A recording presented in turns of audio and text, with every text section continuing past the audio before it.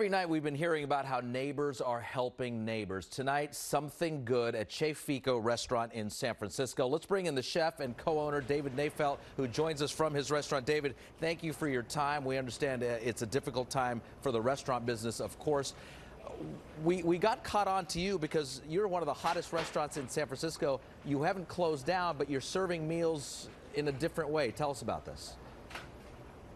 Hey Raj, thanks for having me on. I appreciate it. Yeah, so you know, obviously it was it's a tough time for everybody, and this was an opportunity that fell into our lap to kind of do good while doing well. Uh, one of our investors, Dick Costolo, one of the founders of uh, Twitter, he reached out to me and said, "Hey, what can I do to help?" And I said, "Honestly, there's nothing to do."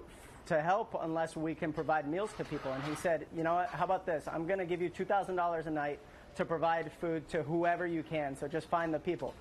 So we announced it on Twitter uh, shortly after one of our other investors, Egon Durban from Silver Lake Capital, reached out and said, hey, I'm going to match that. And then shortly after that, we had Allison and Dan Rose come in and pledge some money, and we had a few other supporters. So within a matter of 48 hours, we had uh, enough support to do at least 120 to 150 free meals a night. So a meal is enough for two to three people. Uh, right here, what we're doing is we're doing a burrata with marinated beets and a beautiful herb salad. Uh, we're doing lamb with polenta. We also have a vegetarian option.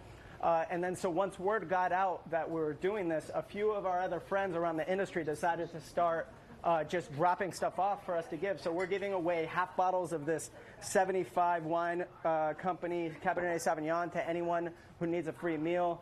We're over here packing all the meals, making sure everybody gets a full meal, including dessert, appetizer, entree, and then one of our other friends from Charles Chocolates decided to drop by a few thousand chocolates as well. So, I mean, these people are getting a uh, pretty gourmet deal.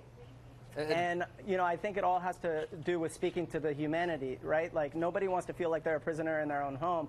So I think what we're doing here is just providing a little bit of humanity in people's daily lives. Uh, David, I got to say, you are very eloquent in, in, how you're saying this. So let me just get this straight now. Uh, many of your investors and then some other people just started donating money and other goods like wine and chocolate.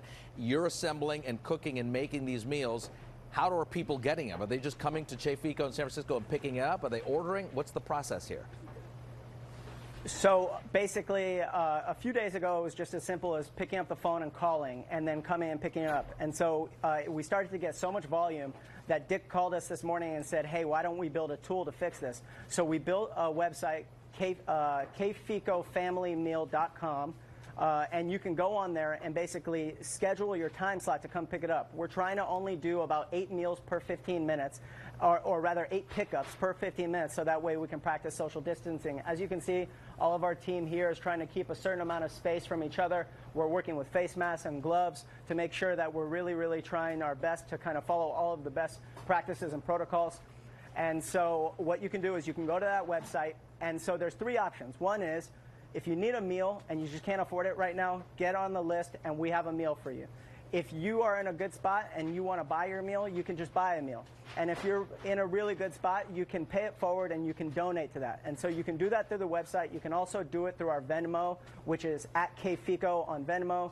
Uh, you can also email us if you don't have a Venmo and you want to do it through a credit card, which is donate at Che Fico. And Che Fico is spelled C H E F I C O.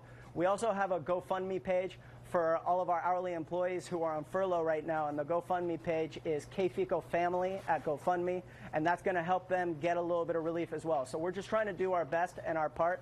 What we do for a living is make food for people. So it's no different than what we're doing every single day. But this is just, uh, you know, this has a little bit of a different twist to it. And one thing that I do want to say is we couldn't do it without all the extra support we've been getting people have been calling in and buying a meal and then paying one forward. So we really, really do appreciate any any donor, whether it was fifty dollars to pay it forward, all the way up to the people who donated five thousand dollars. That is excellent. Thank you for your time. Thank you for what you're doing. I think we speak on behalf of the community there. Uh, and forgive my uh, Italian pronunciation, Fico, C H E F I C O. Thank you, David Nayfeld in San Francisco. No worries.